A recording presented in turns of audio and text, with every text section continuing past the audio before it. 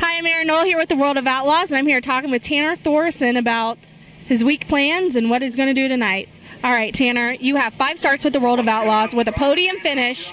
What have you learned from running with the World of Outlaws so far? I've uh, I've learned quite a bit of different things. Uh, running with these guys, you got to be on your game, and it's a it's a big thing. And uh, learned learned definitely how to drive a wing car. I, uh, if I wasn't running with the Outlaws, I don't think I would pick up driving a wing car as easy as I did. They uh, they teach you a lot of things, and it uh, definitely helped me running with the Outlaws. So, talking about running with the wing here, you're you're known for USAC non-wing. So, how challenging is it to put on a wing and run, you know, compared to a non-wing?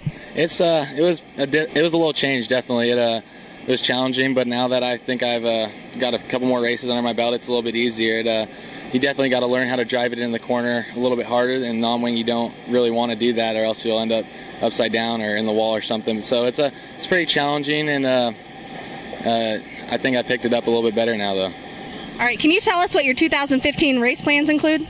Um, 2015, we're going to run a lot of wing stuff. Uh, main the main deal is to run the full USAC uh, midget series with Keith Kunz and uh, run that, and then some selected POWRi races, and then we'll run uh, as much wing car stuff after that as we can.